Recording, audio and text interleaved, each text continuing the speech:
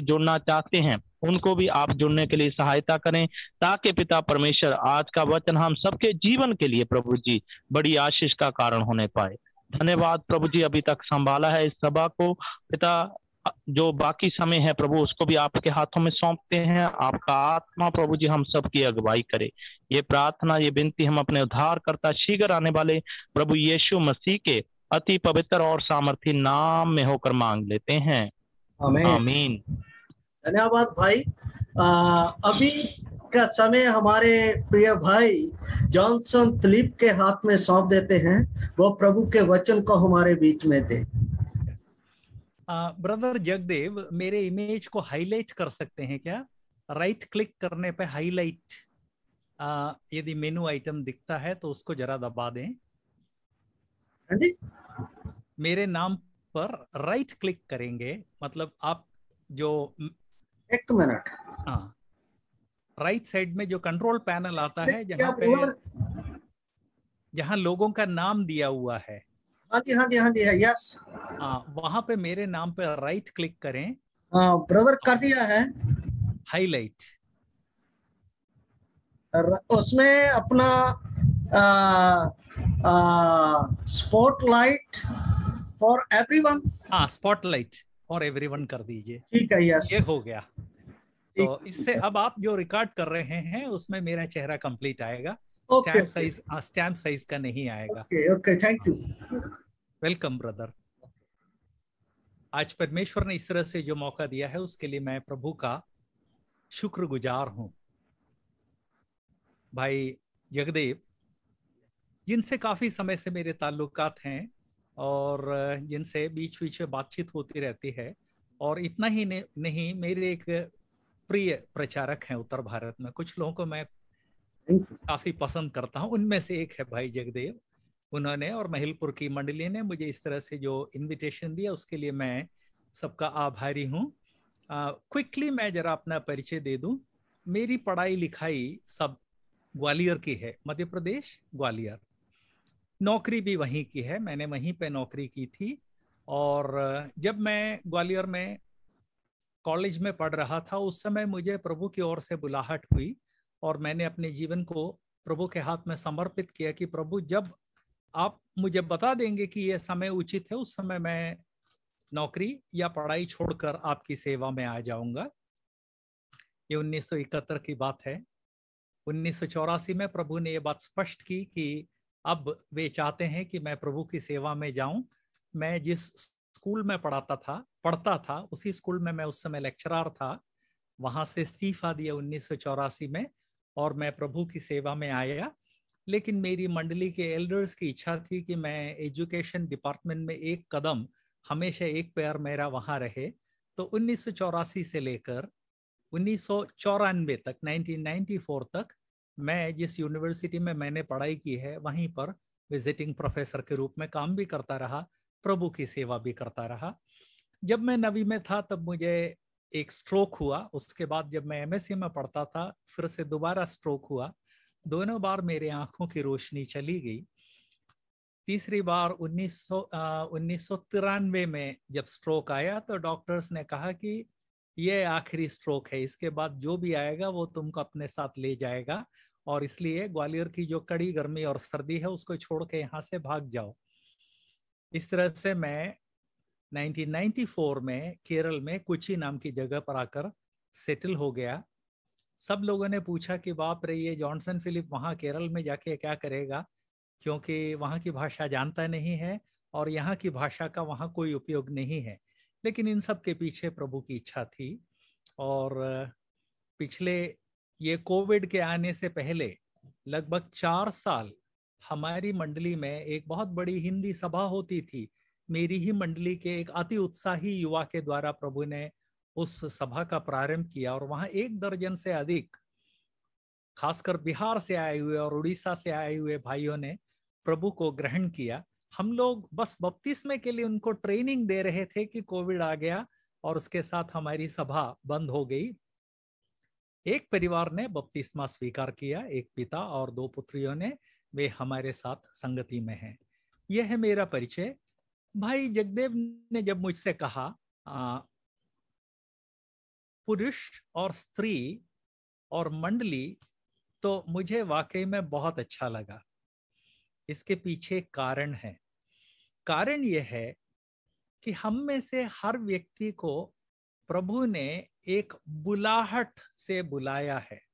आप कहेंगे, हे, brother Johnson, मैं प्रभु की सेवा में नहीं हूँ, मुझे कोई बुलाहट नहीं मिली है। यह हमारी गलतफहमी है कि जो लोग प्रभु की सेवा में हैं, बुलाहट सिर्फ़ उनको मिलती है, ऐसा नहीं है। हर मसीही को प्रभु ने बुलाया है, और एक मसीही व्यक्ति के जीवन का हर कार्य बुलाहट है। इसका एक सर्वोत्तम उदाहरण है, पहला कुरिंथियों सातवां अध्याय कंप्लीट अध्याय विवाह के बारे में है। और उस कंप्लीट अध्याय में कम से कम आधा दर्जन बार विवाह से संबंधित ये शब्द आया बुलाहट, जिसका मतलब है कि एक विश्वासी कपल के लिए या दंपति के लिए इवन वैवाहिक जीवन एक बुलाहट है। चूँकि प्रभु ने हम सबको इस तरह से एक बुलाहट से बुलाया है, इस कारण हम में से हर व्यक्ति को ये अच्छी तरह से समझ लेनी चाहिए कि हमारी बुलाहट क्या है।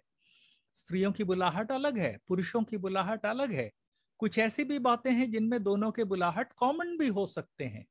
लेकिन यदि हमें अपनी बुलाहट के बारे में समझना हो तो पहले हमें समझना होगा कि पुरुषों से प्रभु क्या उम्मीद करते हैं, स्त्रियों से प्रभु क्या उम्मीद करते हैं। और इसको समझने के लिए प्रभु ने मदद की तो हम तीन क्लास में प्रभु के वचन से इन बातों को देखेंगे।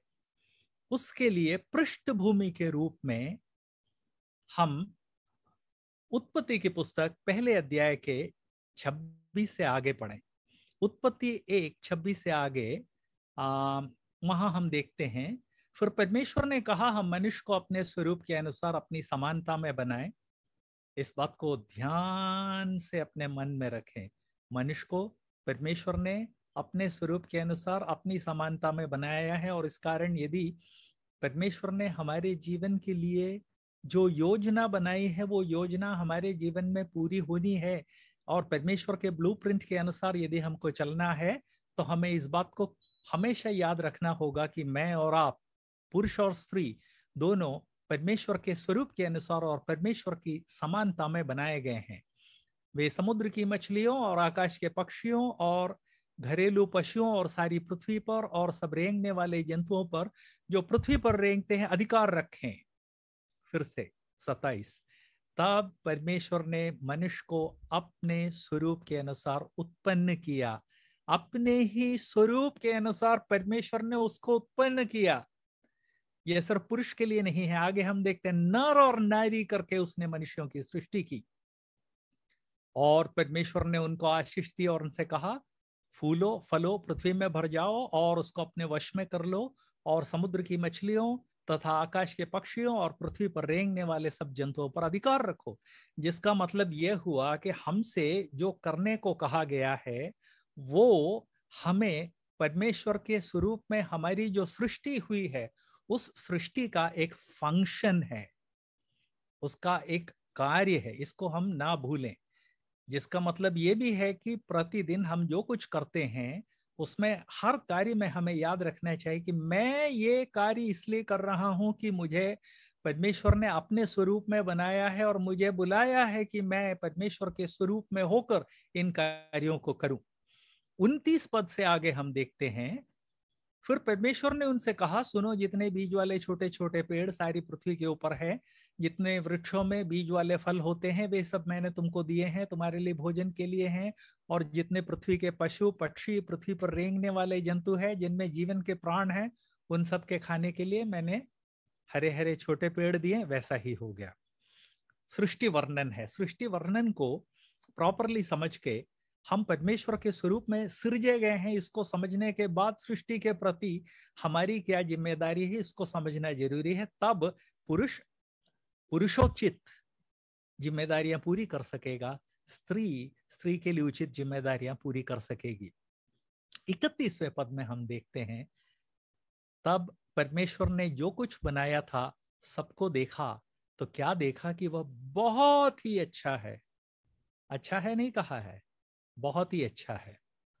जिसका मतलब यह है कि ना केवल हमको परमेश्वर के स्वरूप में हमारी सृष्टि हुई, बल्कि मनुष्य के अलावा परमेश्वर ने जिस चीज़ की भी सृष्टि की थी, सब सर्वोत्तम था।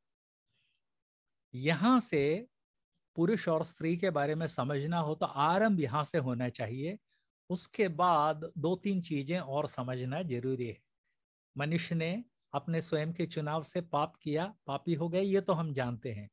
लेकिन उसके कारण मनुष्य के जीवन में जो बदलाव आया, उसका फल हम देखते हैं उत्पत्ति छठे अध्याय के पाँचवें पद में। उसके पहले ही काइन ने हाबेल की हत्या की, वो तो हम जानते ही हैं।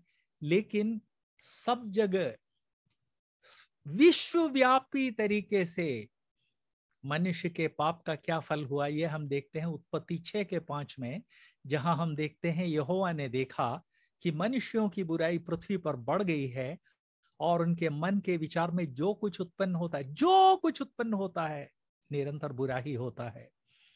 परमेश्वर ने अपने स्वरूप में जो देख, जिसके बारे में परमेश्वर ने गवाही दी कि सब कुछ अच्छा है, आज स्थिति यह है कि मनुष्य की बुराई पृथ्वी पर मतलब सारे विश्व में बढ़ गई है और उसके मन के विचार में जो कुछ उत्पन्न होता है निरंतर बुरा ही है। तो यदि हम अपने जीवन को परमेश्वर की इच्छा के अनुसार बिताना चाहते हैं तो ये दोनों बातें हमें समझनी चाहिए। एक, हमको परमेश्वर के स्वरूप में बनाया गया है।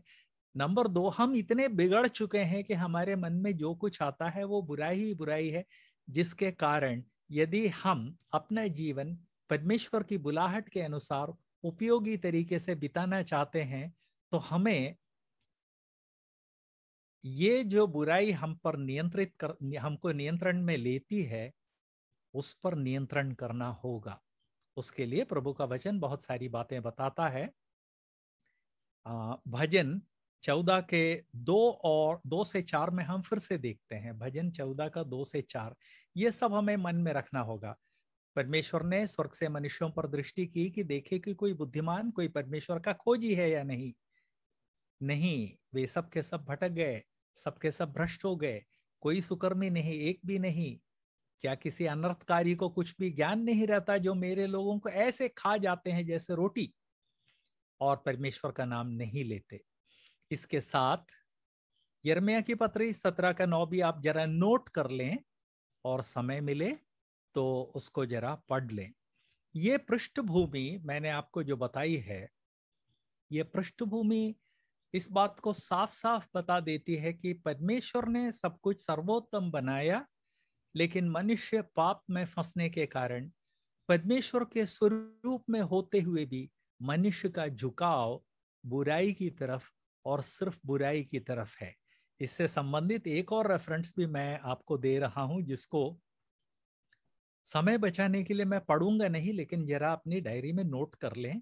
मरकुस सातवां अध्याय 21 से 23 मरकुस सात, इक्कीस से 23 आप कहेंगे कि, ब्रदर, ये सारी बातें तो अविश्वासियों के बारे में लागू होती हैं। मैं तो एक विश्वासी हूँ और इस कारण मेरा जीवन बहुत पवित्र है। ये एक्चुअली ब्रदरन लोगों के बीच में एक बड़ा महारोग है कि हम अपने आप को बहुत पवित्र समझते हैं, बेहद पवित्र समझते हैं।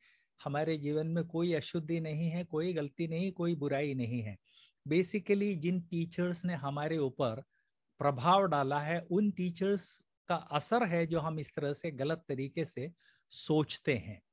इफिसियों की पत्री चौथे अध्याय के 22 से जरा हम पढ़ेंगे, जहाँ विश्वासियों के बारे में कहा गया है। इफिसियों की पत्री चार के 22 में हम पढ़ते हैं तुम अगले चाल चलन के मतलब पिछले चाल चलन के पुराने मनुष्यत्व को, जो भरमाने वाली अभिलाषाओं के अनुसार भ्रष्ट होता जाता है, उतार डालो, ये विश्वासियों से कहा कहा गया है। अपने मन के आत्मिक स्वभाव में नए बनते जाओ, नए मनुष्यत्व को पहन लो, जो परमेश्वर के अनुसार सत्य की धार्मिकता, पवित्रता में सृजा गया है। इस कारण, याद रखें, ये विश्वासियों से कहा गया है, इस कारण झूठ बोलना छोड़कर हर एक अपने पड़ोसी से सच बोले, ये विश्वासियों से कहा गया है। क्योंकि हम आपस में एक दूसरे के अंग हैं। क्रोध तो करो पाप मत करो। सूर्य अस्त होने तक तुम्हारा क्रोध ना रहे, ना शैतान को अवसर दो। चोरी करने वाला फिर चोरी ना करे, वरन भले कामों करने में अपने हाथ से परिश्रम करे।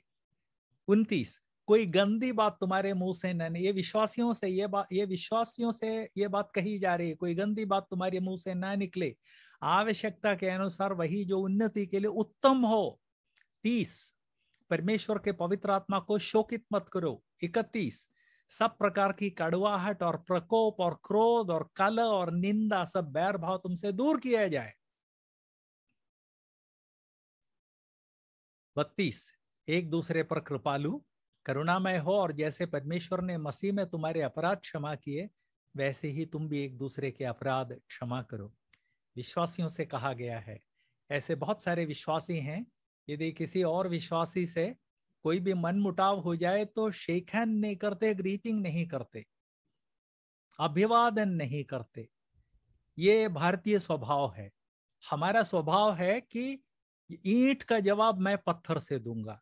यदि तुमने मेरी बुराई की है तो मैं उसका जवाब इस तरह से दूँगा कि आइंदा तुम पानी भी नहीं मांगोगे। प्रभु का वचन याद दिलाता है कि ये व्यवहार विश्वासियों के लिए उचित नहीं है, और इसलिए ये सारे जो स्टेटमेंट मैंने आपके सामने पढ़े हैं, ये पुरुषों, स्त्रियों दोनों के लिए बराबर लागू होते हैं। और भी दो चार स्टेटमेंट्स हैं प्रभु के वचन से, जो आपकी डायरी में नोट करने के लिए मैं बता रहा हूँ, आप कृपया नोट कर लें और फुर्सत में पढ़ लें। पहला पत्रस, दूसरा अध्याय, एक और दो। उसी तरह से पहला पत्रस, दूसरा अध्याय, ग्यारह, बारह। पहला पत्रस, दूसरा अध्याय, सोलह। ये सब विश्वासियों से कहा गया है। इस बात को याद रखें। अब अगली बात जो मैं आपको याद दिलाना चाहता हूँ हम में से हर व्यक्ति जिस समाज में रहता है, उस समाज में जीने के लिए प्रभु के द्वारा बुलाया गया है। और जिस समाज में रहने के लिए हम बुलाए गए हैं, उस समाज में हमारी क्या गवाही है, ये जरा हम अच्छी तरह से सोच लें। समाज में दूसरों के सामने व्यवहार करने के लिए कुछ मर्यादाएँ हैं। मसीहियों के बारे में तो ये कहा जाता है कि इन मर्यादाओं को मानते ही नहीं है। हिंदी पिक्चरों में यदि किसी शराबी, कबाबी, लुच्चे को और गुंडे या बदमाश को दिखाना है तो वो हमेशा माइकल होगा, पीटर होगा या जेम्स होगा। और यदि किसी वेश्या या वेश्यालय चलाने वाली या लूज कैरेक्टर की स्त्री हो तो वो या तो मेरी होगी या एलिजाबेथ होगी या नैन्सी होगी या मैं ये जो नाम ले रहा हूँ मेरे स्वयं के परिवार के लोग हैं वो लोग बुरा ना माने। ये मैं मसीही जगत में बहुत पॉपुलर नाम बोल रहा हूँ ना कि आप लोगों के नाम। आ, मेरी दो बहनों का नाम मैंने इसमें लिया है ये भी मैं याद दिलाऊं। उत्तर भारत में ये नाम बहुत कॉमन है। ये सारे नाम पिक्चरों में लोगों के बुरे कैरेक्टर के साथ जोड़ा जाता है। क्यों? इसलिए कि हमारी गवाही सही नहीं है। और यदि हमारी गवाही सही होनी है तो हमें ये सोचना पड़ेगा कि पुरुषों से प्रभु क्या उम्मीद करते हैं, स्त्रियों से प्रभु क्या उम्मीद करते हैं। पुरुषों से प्रभु जो उम्मीद करते हैं, वो तीतुस की पत्री में, उसके दूसरे अध्याय में हम पढ़ते हैं, तीतुस की पत्री, दूसरे अध्याय का पहला पद। इसमें पहले और दूसरे पद में पुरुषों के बारे में बताया गया है। तो पुरुषों, स्त्रियों सबके बारे में बोलने के बाद अब आइए पुरुषों के जीवन को देखते हैं। यहाँ हम देखते हैं पहले पद में, तू ऐसी बातें कहा कर। ये पुरुष से कहा गया है। ये इस बात को दिखाता है कि ये सब पुरुषों के लिए है, क्योंकि दूसरे पद में लिखा है, अर्थात बूढ़े पुरुष। उसका सही अनुवाद होगा, अर्थात परिपक्व। जो उम्र में बड़े हैं और परिपक्व पुरुष है, जिसका मतलब यह हुआ कि पहला पद भी सभी पुरुषों से कहा गया है। तुम ऐसी बातें कहा करो। तो इसका क्या मतलब है?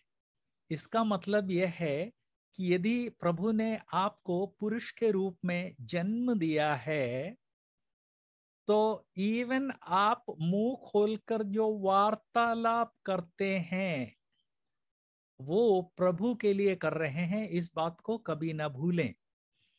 ब्रदरन असेंबलीज ने इस बात को बहुत गंभीरता से लिया है और इसी कारण ब्रदरन मंडलियों में बच्चे अपने टीनेज में जब आ जाते हैं, तब से उनको प्रोत्साहित किया जाता है कि प्रभु के वचन से कुछ पद पढ़ें चर्च में।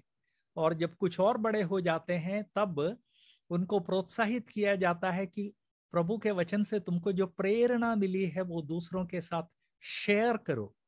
क्योंकि पुरुषों से प्रभु का वचन कहता है कि ऐसी बातें कहा करो तो हम पुरुष मुँह खोलकर बोलते हैं तो वो प्रभु के लिए कर रहे हैं ऐसा प्रभु का वचन कह रहा है। और कैसी बातें कहा करें?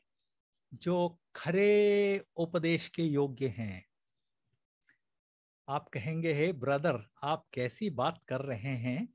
क्योंकि आ, ऐसा हो सकता है क्या कि हम मुँह खोल के बात करें और त्रि त्रिएकत्व के बारे में बोले उद्धार के बारे में बोले प्रभु के द्वितीय आगमन के बारे में बोले?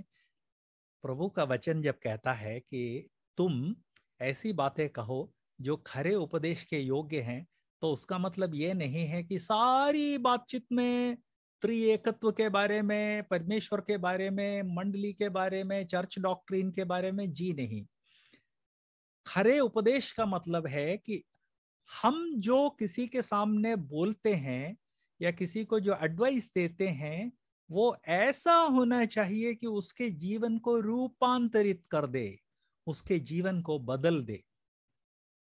पुरुष जो बातचीत करते हैं, स्त्रियाँ भी जो बातचीत करती हैं एक वाक्य पर्याप्त होता है दूसरे के जीवन को बर्बाद करने के लिए दूसरे के जीवन को दुख से भरने के लिए या दूसरे जीवन को डाउट से भरने के लिए। ये अभी दो चार दिन के पहले की बात है हमारे घर में एक घटना हुई। आ, मेरे ये 25-26 साल पुराना घर है थोड़ा सा रिनोवेशन हो रहा है। सामने की तरफ़ एक लकड़ी का दरवाज़ा लग रहा है। तो जब लकड़ी का दरवाज़ा लग रहा था या लग चुका था तो मेरी वाइफ ने आके मुझसे पूछा कि इस दरवाजे पे पानी गिर जाएगा तो ये बर्बाद तो नहीं हो जाएगा? मैंने कहा नहीं आ, छोटा सागौन है उसके ऊपर पानी का कोई असर नहीं होता। मैंने पूछा क्यों? तुमको तो लकड़ी वगैरह पेड़ों के बारे में मुझसे ज़्यादा ज्ञान है क्यों पूछ रहे उसने बताया कि वो आज सुबह एक आदमी आया था और जब मिस्त्री दरवाज़ा लगा रहा था तो उसने कहा अच्छा लकड़ी का दरवाज़ा? हाँ पता नहीं कितने साल चलेगा। मैंने दस साल पहले ऐसा उसने कुछ बताया दस साल पहले आ, लकड़ी का दरवाज़ा लगाया था और दस साल में तीन बार मुझे दरवाजे बदलने पड़े। कितने वाक्य बोले उसने? हिंदी में कहा जाए सच कहा जाए तो ज़्यादा से ज़्यादा उसने दो वाक्य बोले। लेकिन उन दो वाक्यों से मेरे वाइफ के मन में जो लकड़ी के बारे में मुझसे ज़्यादा अच्छी जानती है खासकर सागौन वगैरह के बारे में उसके मन में एकदम से वो जो शंका का बीज है उसने बो दिया। जब वाइफ को मैंने याद दिलाया कि भाई ये छोटा सागौन है तब उसको अचानक याद बात याद आई कि भाई छोटा सागौन के बारे में कहा जाता है कि उसको कहीं भी डाल दो आ, वो खराब नहीं होता है। लेकिन दो वाक्य के द्वारा एक आदमी ने उसके मन में वो शंका बीज बो दिया प्रिय भाइयों और बहनों हम जो विश्वासी लोग हैं हमें अपनी बोली पर इतना नियंत्रण करना चाहिए, इतना नियंत्रण करना चाहिए कि हम जो बोलते हैं वो दूसरे को खरे उपदेश के रूप में लगे और खरा उपदेश जो है उसमें प्रोत्साहन भी होता है, उसमें करेक्शन भी होता है, उसमें मार्ग निर्देशन भी होता है। इस मामले में ब्रदरन कम्युनिटी एक बहुत पराजित हुई है। लोग ब्रदरन कम्युनिटी को छोड़ छोड़ के खासकर दक्षिण भारत में छोड़ छोड़ के पेंटिकॉस्टल चर्चेस में जाकर मिल रहे हैं। क्यों? इसलिए कि हम भाई बहनों की आदत बहुत ही कड़वा बोलने की है। आपको हो सकता है बुरा लगे बुरा लगे तो बुरा लगे, लेकिन जो सच है वो मुझे बोलना ही पड़ेगा कि हम ब्रदरन लोगों ने दूसरों के साथ मीठा बोलना नहीं सीखा है। हम एक आम सामने रखकर चाकू से काटते हैं तो दो टुकड़ा हो जाता है। लेकिन जब हम जीप से काटते हैं तो सामने वाले के हज़ार टुकड़े हो जाते हैं, इतना कड़वा हम बोलते हैं। प्रभु का वचन याद दिलाता है कि पुरुष इस तरह से बात करें जो खरे उपदेश के योग्य हैं। प्रिय भाइयों, आज जरा अपनी वाणी को जाँच कर देखें। मेरी वाणी के द्वारा दूसरे लोगों को प्रोत्साहन मिलता है या दूसरे लोगों का जीवन छिन्न भिन्न हज़ार टुकड़ों में खंड खंड होता है। दूसरे पद में हम पढ़ते हैं बूढ़े पुरुष। बूढ़ा सुन के ऐसा लगता है कि आ, साठ सत्तर के की उम्र के लोगों के बारे में होगा। ऐसा नहीं है। प्रभु का वचन में कहने का मतलब है जो परिपक्व हैं। परिपक्व बीस साल का पुरुष भी हो सकता है अस्सी साल का भी हो सकता है। हाँ आज जब भाई जगदेव ने कहा जॉनसन फिलिप जैसे बुज़ुर्ग तो मुझे लगा कि अब मैं बूढ़ा होने लगा हूँ। सिर्फ़ मज़ाक है ब्रदर। आ, मुझे अच्छा लगा कि अब मैं बुज़ुर्गों की कैटेगरी में आ गया हूँ। और हूँ भी I am sixty eight running तो जो उम्र में बड़े हो गए हैं उसके साथ साथ जो लोग उम्र में बड़े होने के पहले ही परिपक्व हो गए हैं, उन लोगों से ये उम्मीद की जाती है कि वे एक विशेष प्रकार का कार्य करेंगे। जो परिपक्व पुरुष है, उनसे उम्मीद की जाती है कि वे लोगों को सही दिशा में ले जाएँगे। बच्चों को, परिवार को, अन्य विश्वासियों को यहाँ तक कि मंडली को। इतना ही नहीं, प्रभु का वचन ये भी याद दिलाता है कि हम जो बोलते हैं वो उपदेश के लायक हो तो इसका मतलब है कि हम जब बोलते हैं तब परमेश्वर के वचन में जो बातें हैं वो दूसरों से शेयर करें। दूसरा तिमोती तीसरे अध्याय के 16 और 17 में हम पढ़ते हैं, दूसरा तिमोती तीन का 16 17 हर एक पवित्र शास्त्र परमेश्वर की प्रेरणा से रचा गया है और उपदेश और समझाने, सुधारने, धर्म की शिक्षा के लिए लाभदायक है ताकि परमेश्वर का जन परिपक्व बने और हर एक काम के लिए तत्पर हो जाए। परमेश्वर के लोगों को परिपक्व बनाने की जो प्राइमरी ज़िम्मेदारी है, वो पुरुषों की है। स्त्रियों की भी है, उस उस पर वो हम अलग से देखेंगे। लेकिन इस बात को याद रखें कि उपदेश समझाना इसकी जो प्राइमरी ज़िम्मेदारी खासकर चर्च में है वो पुरुषों की ज़िम्मेदारी है। पुरुष इस बात को याद रखें कि ये भारी ज़िम्मेदारी परमेश्वर ने उनको दी है। उसके बाद हम देखते हैं आ, अगला पुरुषों से जो जिम्मे जो एक्सपेक्ट करते हैं सचेत जिसका आज की भाषा में यदि अनुवाद किया जाए तो जिसका मतलब है संतुलित बैलेंस्ड एक पुरुष को जीवन में सैकड़ों निर्णय लेने पड़ते हैं, सैकड़ों। मेरा बेटा जब कॉलेज में पढ़ रहा था, तब एक बार उसने मुझसे अनुरोध किया, डैडी, मुझे एक मोटर बाइक दिला दीजिए, मेरे सारे फ्रेंड्स के पास मोटर बाइक है।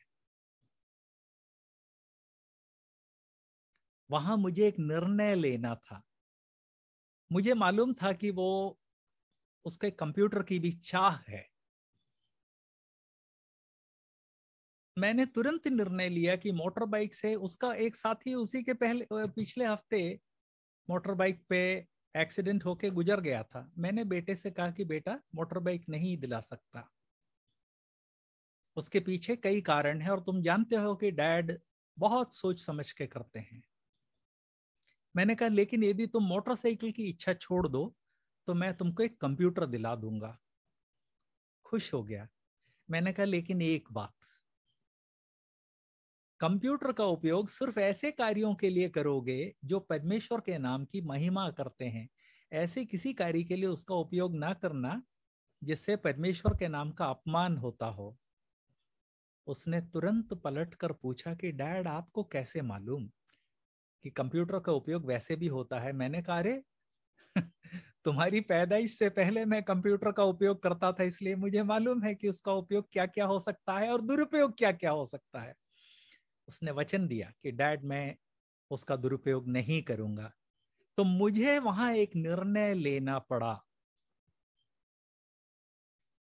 ये तो एक बहुत बड़ा निर्णय मैंने आपको बताया। कल को आप किसी दुकान में राशन लेने जाते हैं, वहाँ पर आप बाकायदा लाइन में खड़े हैं और एक आदमी ज़बरदस्ती आपके सामने ठस जाता है। उससे किस तरह से बात करनी है? अरे, अबे, कह के बात करनी है? या निकल जाओ बाहर? या, भाई साहब, मैं आपसे पहले आया था, मुझे जल्दी है, आप मेरे सामने से हट जाएँगे क्या? किस तरह से बोलना है? हर व्यक्ति को, हर पुरुष को अपने जीवन में सैकड़ों निर्णय लेने पड़ते हैं। हमारी हम क्या सोचेंगे मनसा? हम क्या बोलेंगे वाचिया? हम क्या करेंगे कर्मणा? इनमें हर बात में हमें निर्णय लेना होता है। दुनिया हमको बताती है कि संतुलन की कोई ज़रूरत नहीं है, मनमानी किए चले जाओ। आप लोगों ने टीवी एडवर्टाइजमेंट देखे होंगे, जिसमें बड़े विचित्र रूप से भोंडे तरीके से डिस्टोर्ट किए हुए चित्र आते हैं। मैंने कई बार ये जो मनोविज्ञान के विद्यार्थी हैं, उनसे पूछा कि इसका क्या कारण है। उन्होंने बताया कि आजकल मनुष्य का जीवन इतना असंतुलित हो गया है कि संतुलित चित्र दिखाओ तो उसको अच्छा नहीं लगता, इसलिए भोंडे चित्र दिखाए जाते हैं।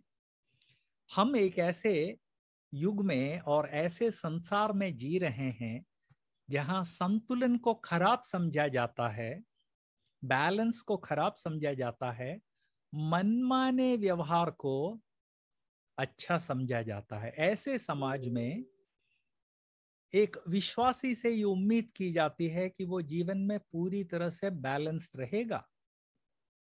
मैंने ऐसे बहुत सारे विश्वासियों को देखा है। मान लीजिए कोई आप जा रहे हैं मोटर बाइक पे, कोई सड़क से निकल गया, कीचड़ आपके ऊपर गिर गया, तुरंत माँ बहन की गाली। विश्वासी लोग माँ बहन की गाली देते हैं कि, जी हाँ देते हैं। ईसाई लोग तो देते ही हैं, विश्वासी लोग भी देते हैं। मैंने सुना है, अपनी, अपने कानों से सुना है। कई बार मैंने बड़ी डांट लगाई है। कारण क्या है? हम एक ऐसी दुनिया में रह रहे हैं जहाँ अपने आप को संतुलित रखने के बदले मनमाना करने को संसार प्रोत्साहित करता है। लेकिन एक विश्वासी याद रखे, खासकर पुरुष, परिवार में क्या करना है उसमें संतुलन होना चाहिए। अपने आत्मिक वरदानों के उपयोग में संतुलन होना चाहिए।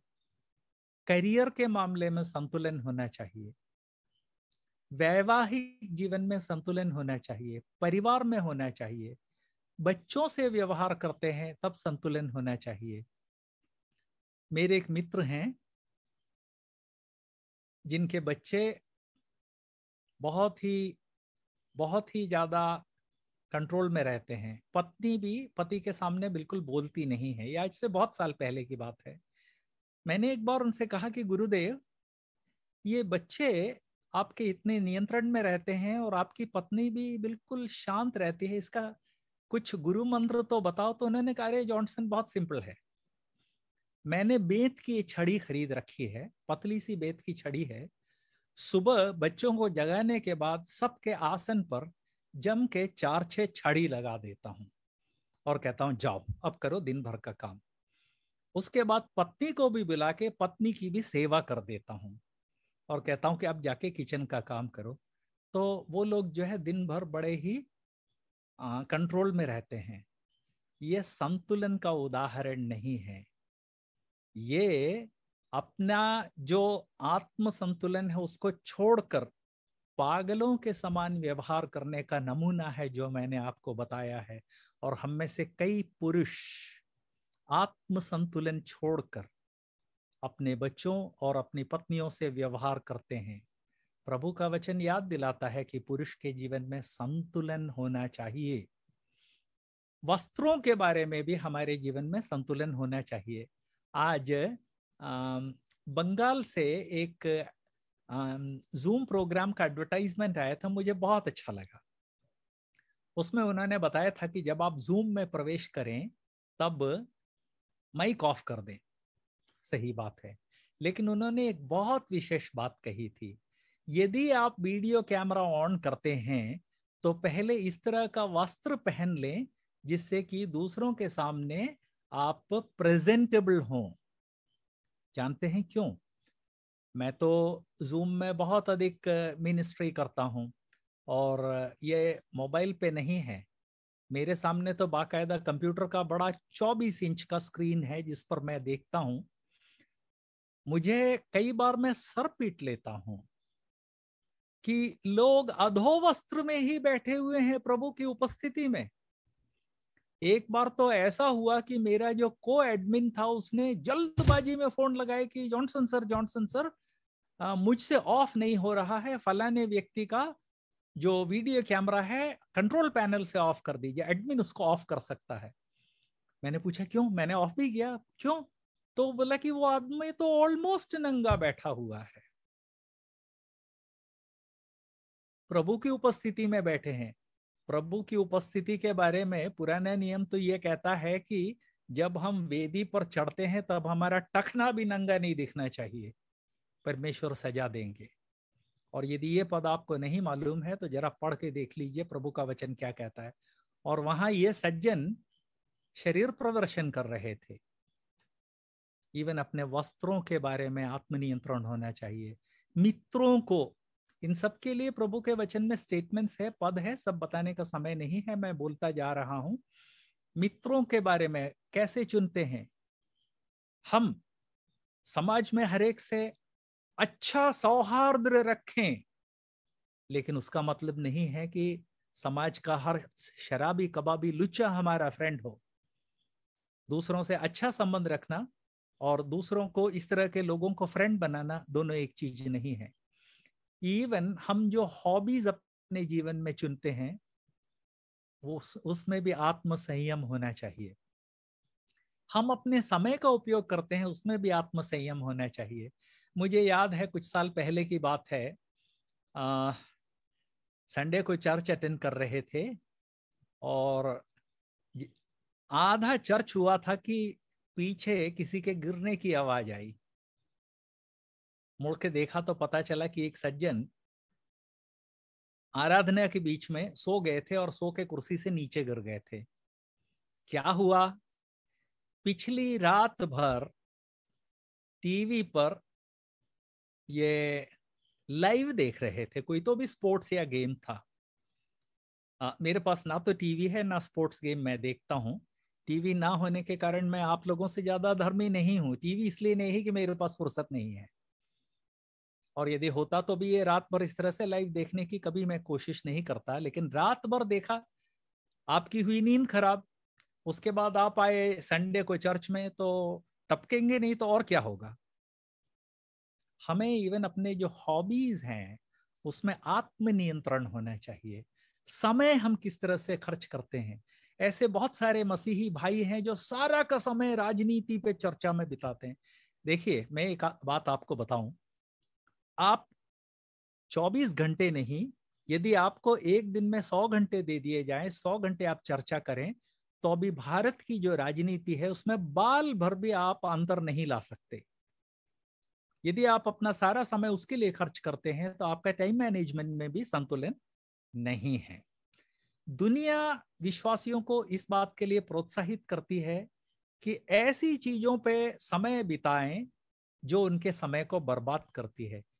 पुरुषों से प्रभु का वचन याद दिलाता है संतुलित रहो बैलेंस्ड रहो ना केवल अपनी बातचीत में बल्कि अपने चॉइस में और समय के उपयोग में। तीसरी बात यहाँ हम पढ़ते हैं गंभीर। आ, गंभीर को कई लोग लोग गलत समझते हैं कि गंभीर का मतलब है कि बड़ा लंबा चेहरा बना के लोगों के सामने बैठे हुए हैं कोई आके यदि आपसे कहें, भाई साहब भाई साहब, चार बार कहें, तब मुड़कर बड़े ही क्रोध के साथ उसको देखें, जिससे कि आपकी नज़र उस पर पड़े तो वो काँप जाए। प्रभु का वचन जब कहता है कि पुरुष गंभीर हो तो उसका मतलब यह नहीं है।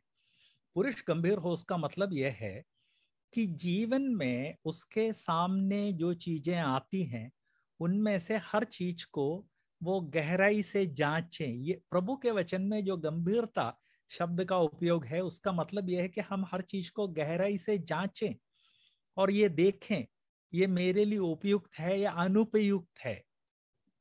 इस तरह के बहुत सारे अवसर हमारे जीवन में आते हैं जब हमको जांचना पड़ता है।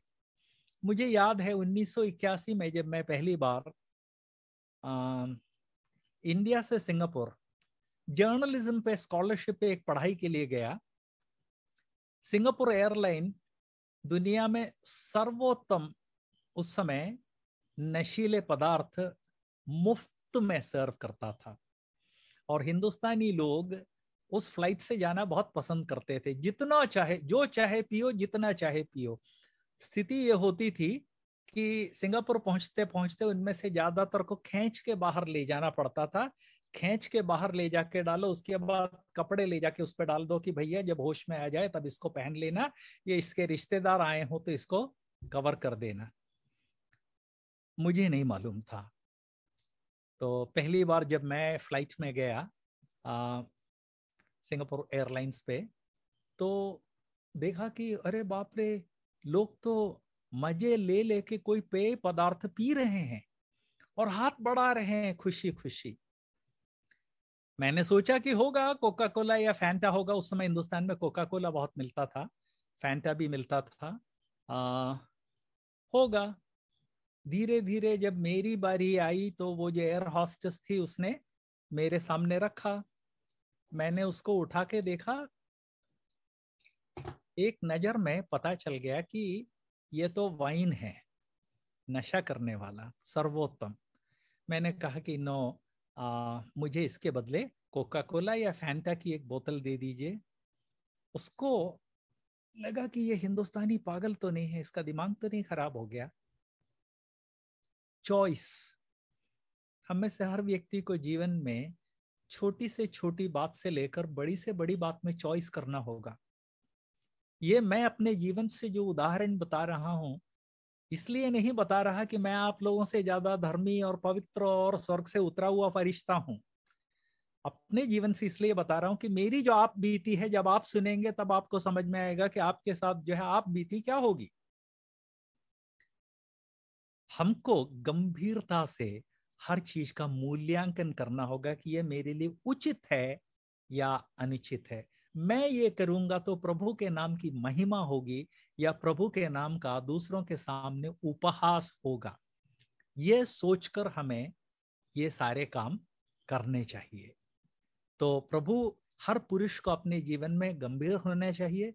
हर चीज़ को गंभीरता से मूल्यांकन करे, उसके बाद उसको करे। अगला शब्द है संयमी। ये भी गंभीर से संबंधित है। संयम का मतलब है आत्मनियंत्रण। मेरे आपके सामने बहुत सारे अवसर आएँगे। ये करो, वो करो, ये करो। बच्चों को यदि मिठाई मिल जाती है तो एक खाया, दो खाया, तीसरा खाया, चौथा, उसको समझ में नहीं आता है कि दो या तीन टुकड़ा खाने के बाद यदि वो खाएगा तो उसका पेट में दर्द होगा। इसलिए माँ बाप उसको बताते हैं, बेटा, अभी नहीं, अब शाम को देंगे। उसको अच्छा नहीं लगता, लेकिन अभी उसमें स्वयं नियंत्रण या आत्म नियंत्रण नहीं है, इसलिए वो और खाना चाहता है। लेकिन जब वही बच्चा जब बड़ा हो जाता है तो आत्मनियंत्रण अपने आप आ जाता है। मतलब परिपक्वता के साथ आत्मनियंत्रण आ जाता है। प्रभु का वचन याद दिलाता है कि पुरुषों को अपने जीवन में आत्मनियंत्रण दिखाना चाहिए। सबसे ज़्यादा व्यापक जो पाप है, वो आत्मनियंत्रण का पाप है। उत्पत्ति में स्त्री ने देखा कि फल, अरे बोपरे देखने में मन भाव और बुद्धि देने के लिए इच्छा करने योग्य है। आत्मनियंत्रण भूल गई। वो ये भूल गई कि परमेश्वर हर शाम उनसे बात करने के लिए आते हैं, और यदि इसको खाना ही है तो जब परमेश्वर आज शाम को जब वार्तालाप के लिए आएँगे, तब परमेश्वर से कहा जा सकता है कि, प्रभु, उसको देख के मेरा मन डोल गया और, उसको खाने के लिए कोई तरीका हो तो हम, मुझे दे दीजिए। आत्मनियंत्रण के बदले क्या किया उसने? मन चल गया, खा लिया, पति को दिया। कम से कम पति तो आत्मनियंत्रण कर सकता था। उसने भी नहीं किया। परमेश्वर ने उस पेड़ के चारों तरफ़ कोई बाढ़ नहीं बांधी थी। परमेश्वर ने सिर्फ़ मना किया था और परमेश्वर उनसे उम्मीद करते थे कि इस पेड़ को तुम रोज देखते, इस फल को तुम रोज देखते, लेकिन आत्मनियंत्रण के कारण उससे अलग रहना। नहीं समझा? पाप में फंस गए और पिछले छह हज़ार साल दुनिया में उसके कारण कितना पाप और कितनी बुराई है। प्रिय भाइयों, हर पुरुष को अपने जीवन में आत्मनियंत्रण प्रदर्शित करना चाहिए ये मैं याद दिला रहा हूँ। आगे हम देखते हैं आ, दो पद मैं आपको बता देना चाहता हूँ। इफिसियों की पत्री दूसरा अध्याय एक से लेकर तीन पद जरा नोट कर लें। ये उन लोगों के बारे में है जिनके जीवन में आत्मनियंत्रण नहीं था।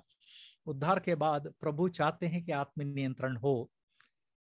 उसके साथ साथ पहला योहन्ना दो, पंद्रह और सोलह भी जरा नोट कर लें।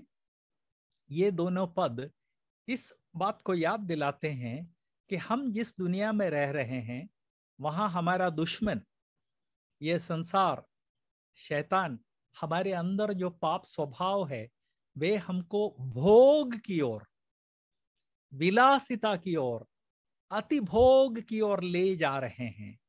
लेकिन प्रभु का वचन याद दिलाता है कि एक पुरुष का अपने जीवन में आत्मनियंत्रण होना बहुत ज़रूरी है।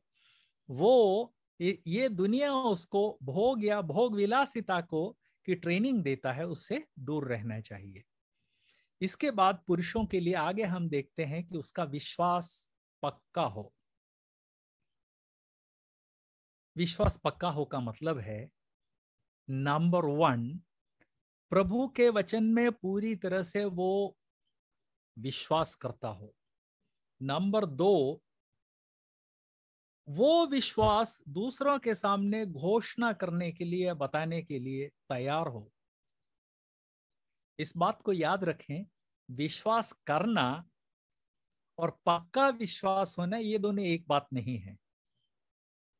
जब पहली बार कोई व्यक्ति साइकिल चलाता है उससे यदि पूछा जाए कि साइकिल चला लेते हो क्या? और यदि वो जवाब देता है कि मैं साइकिल चला लेता हूँ तो उसका मतलब ये नहीं है कि आपके शहर में जो लोग आके तीन तीन दिन बिना उतरे साइकिल चलाते हैं, उसका मतलब ये नहीं कि ये लोग वैसा ही चला लेंगे। एक ने ज़िंदगी भर प्रैक्टिस की है, इसलिए वो साइकिल चलाने में पक्का है। एक चला लेता, इसी तरह से जिसने विश्वास किया है, उसके जीवन में विश्वास है। लेकिन विश्वास का पक्का होने का मतलब यह है कि प्रभु के वचन के प्रति इतना समर्पण अब उसके जीवन में है कि उसको लज्जित होने की ज़रूरत नहीं है। दूसरा तिमोती, दूसरे अध्याय के पंद्रहवें पद में हम क्या पढ़ते हैं? दूसरा तिमोती दो का पंद्रह, ये एक पुरुष से कही गई बात है। स्त्रियों के लिए भी ये लागू होता है लेकिन चूँकि पहले एक पुरुष से कहा गया था, इसलिए सारे पुरुष इस बात को नोट करें। दूसरा तिमोती दो पंद्रह में हम देखते हैं, अपने आप को परमेश्वर का ग्रहण योग्य और ऐसा काम करने वाला ठहराने का प्रयत्न कर जो लज्जित ना होने पाए। कैसे लज्जित ना होने पाए? जो सत्य के वचन को ठीक रीति से काम में लाता हो। विश्वास में पक्का जो व्यक्ति है वही है जो सत्य के वचन को ठीक रीति से काम में ला सकता है। इसका एक और अनुवाद भी हो सकता है ग्रीक भाषा से, और वो अनुवाद है जो सत्य के वचन को सही रीति से विभाजित कर सकता हो। आप कहेंगे, सत्य के वचन को विभाजित करने की ज़रूरत क्या है? इसलिए कि ये जो सत्य का वचन है, पुराने नियम के विश्वासियों के लिए जो आज्ञा है, नए नियम के विश्वासियों के लिए जो आज्ञा है, यहूदियों के लिए जो आज्ञा है इन सब आज्ञाओं में अंतर जानना ज़रूरी है, इसलिए सत्य के वचन को सही रीति से विभाजित करना ज़रूरी है। तो प्रभु का वचन याद दिलाता है कि विश्वास में पक्का हो मतलब प्रभु ना केवल प्रभु यीशु में जो विश्वास है, परमेश्वर के वचन के प्रति जो विश्वास है, वो भी पक्का होना चाहिए। आखिरी बात जो इस पद में हम देखते हैं, प्रेम पक्का हो। दुनिया में सबसे बड़ी शक्ति कौन सी है? ये प्रश्न बार बार पूछा जाता है। दुनिया में सबसे बड़ी शक्ति कौन सी है? दुनिया में सबसे बड़ी शक्ति है मौत, जिसके सामने कोई भी नहीं टिक सकता। उसके बाद दुनिया में सबसे बड़ी शक्ति कौन सी है?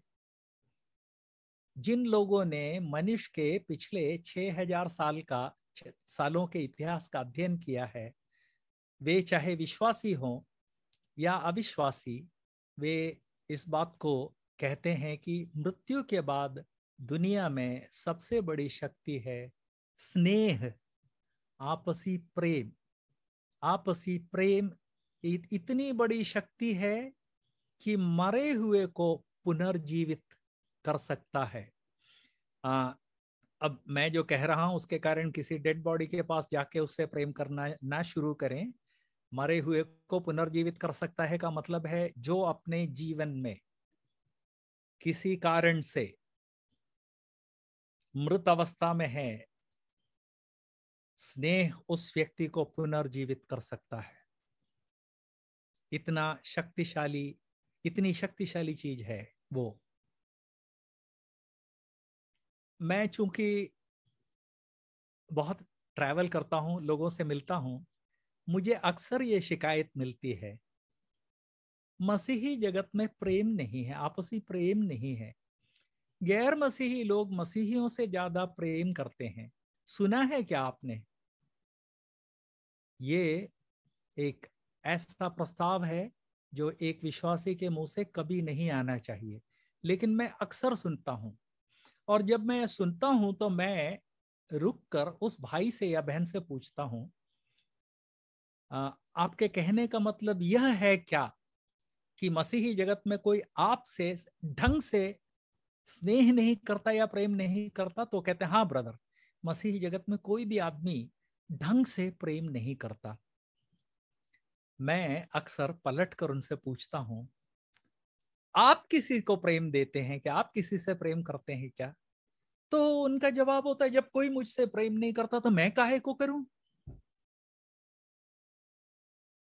ये कॉमन एटीट्यूड है मसीही जगत में। मुझसे कोई प्रेम नहीं करता तो मैं क्यों करूँ? वो लोग इस बात को भूल जाते हैं कि मसीही स्नेह या मसीही प्रेम का नमूना ये नहीं है कि तुम मुझसे करोगे तो मैं तुमसे करूँगा। फिलिपियों की पत्री, दूसरा अध्याय हमको याद दिलाता है कि जो नज़रिया प्रभु यीशु का था, वो नज़रिया तुम्हारा होना चाहिए। प्रभु का क्या नज़रिया था? परमेश्वर का क्या नज़रिया था? यूहन्ना तीन सोलह में हम देखते हैं, क्योंकि परमेश्वर ने जगत से ऐसा प्रेम किया। जगत का मतलब उत्पत्ति से लेकर प्रभु, जब तक दुनिया का अंत नहीं होगा, तब तक जन्मा हुआ हर पापी, हर कुकर्मी, हर दुष्ट, उससे प्रभु ने प्रेम किया। उसने प्रभु से नहीं किया, प्रभु ने उससे प्रेम किया और प्रभु ने ना केवल उससे प्रेम किया, उस प्रेम के कारण अपने स्वयं के जीवन में जो सबसे मूल्यवान चीज़ थी, अपना एकलौता पुत्र दे दिया जिससे कि वो उस निकम में कुकर्मी नालायक के लिए अपना जीवन दे। मसीही प्रेम का जो मॉडल है, वो ये है।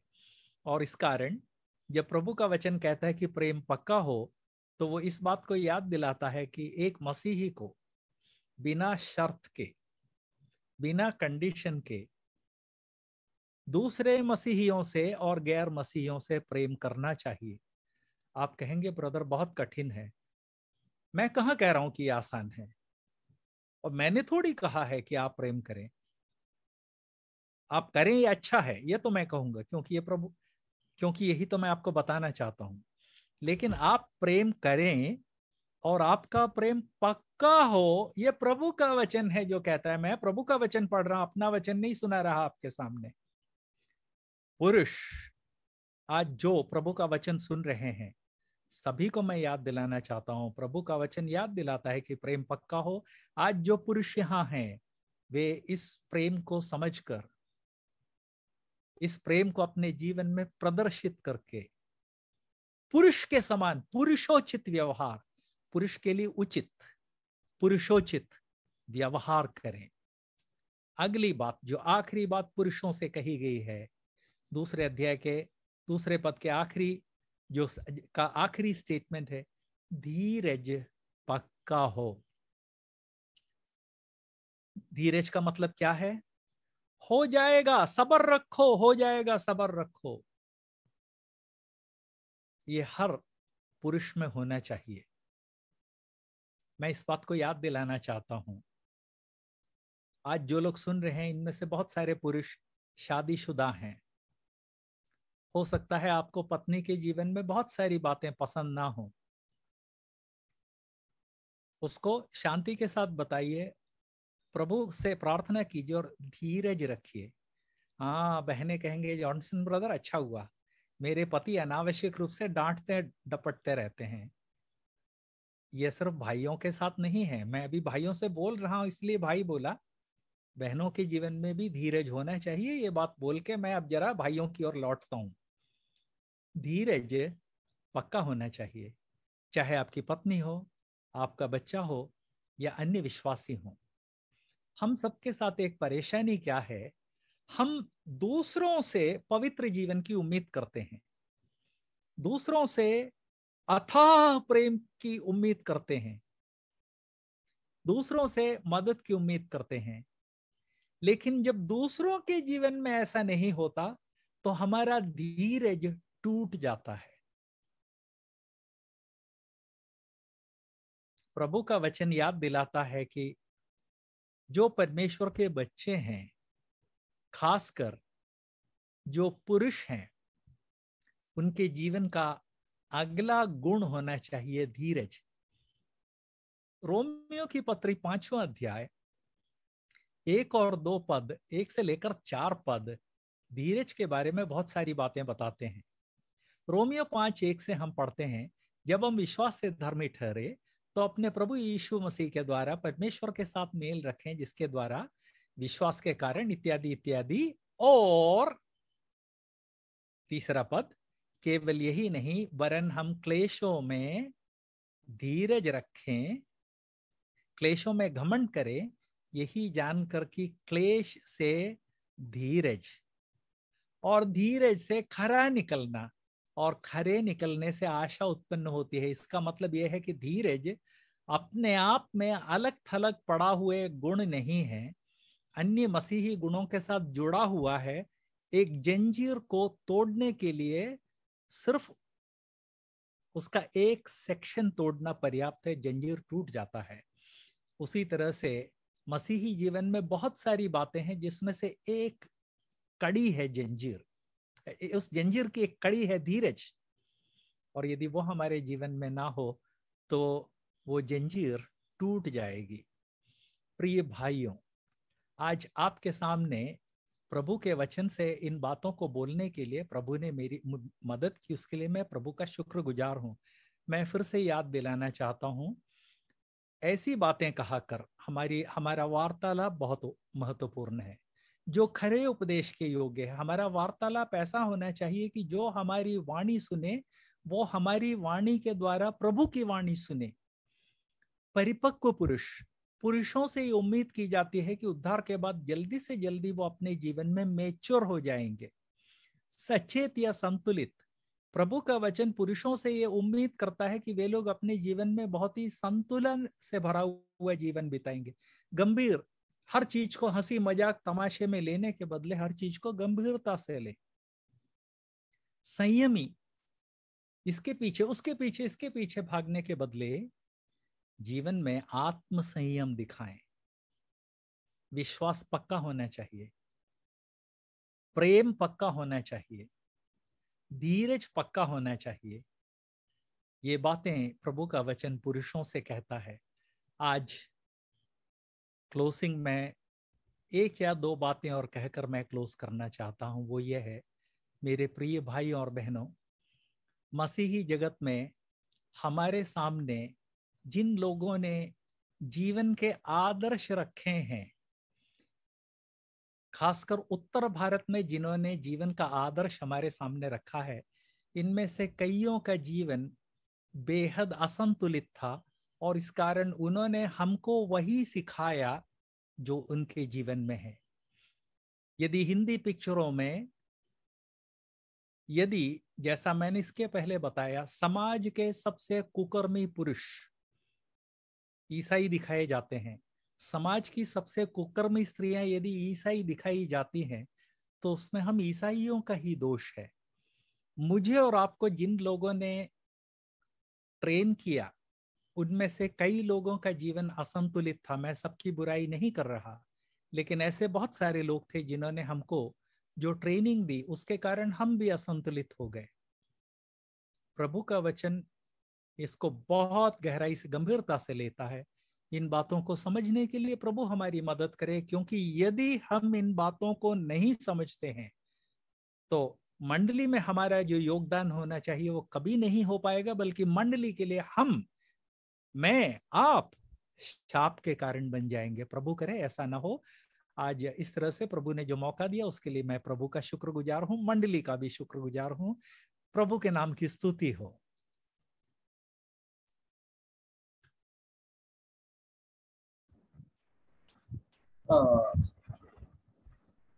धन्यवाद भाई।